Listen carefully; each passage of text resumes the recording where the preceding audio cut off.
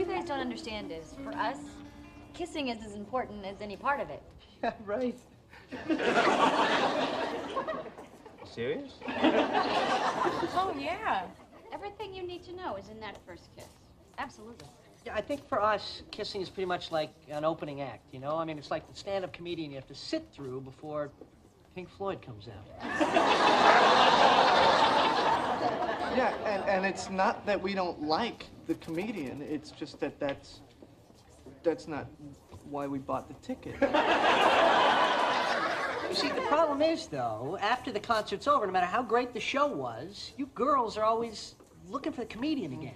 Know, I mean, we're in a car, we're fighting traffic, basically just trying to stay awake.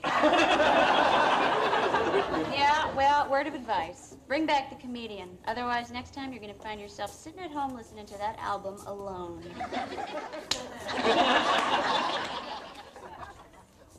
Are we still talking about sex? oh, and not some. Carol, uh, why, why are you here, Carol? I'm pregnant. Pregnant.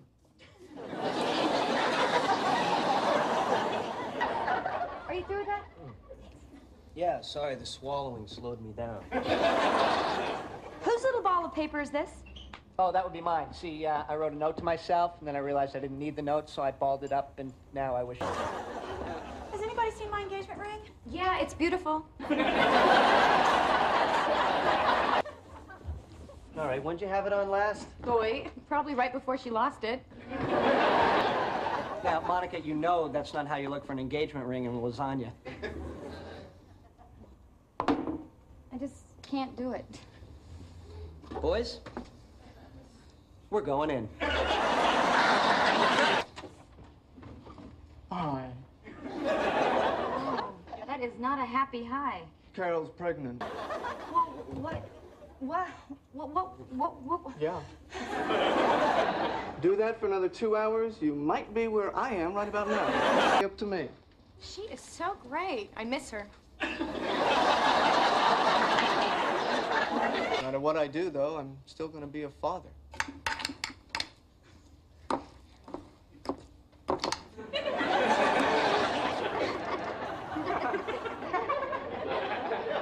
Well, this is still ruined, right? I know this is going to sound unbelievably selfish on my part, but were you planning on bringing up the whole baby lesbian thing? Because I, I think it might take some of the heat off me. Look, I, uh, I realize you guys have been wondering what exactly happened between Carol and me, and so, mm. well, here's the deal. Carol's a lesbian. She's living with a woman named Susan. She's pregnant with my child. And she and Susan are going to raise the baby. And you knew about that?